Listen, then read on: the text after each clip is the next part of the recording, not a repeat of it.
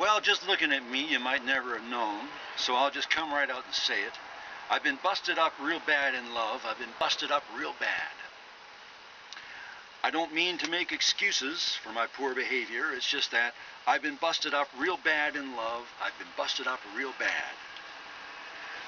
So if you were looking for a virgin heart, well, you might as well know right now. I've been busted up real bad in love. I've been busted up real bad. So if you want to poke me in the eye and slam the door on your way out, I'll understand because I've been busted up real bad in love. I've been busted up real bad. Poetry. Poetry.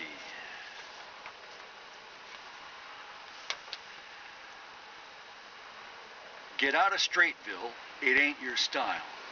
Move out of Straight Mill. Straight Mill. We'll try that again. We'll just start right here. Get out of Straightville, it ain't your style. Move out of Straightville a couple of miles. Get out of Straightville, get out of Straightville. I played your CD this afternoon. Your words are groovy. You got groovy tunes. What are you doing living in Straightville? Straightville eats Start again. Get out of Straightville. It ain't your style. Move out of Straightville a couple of miles. Get out of Straightville. Get out of Straightville. I played your CD this afternoon. Your words are groovy. You got groovy tunes. What are you doing living in Straightville? Straightville eats young boys like you.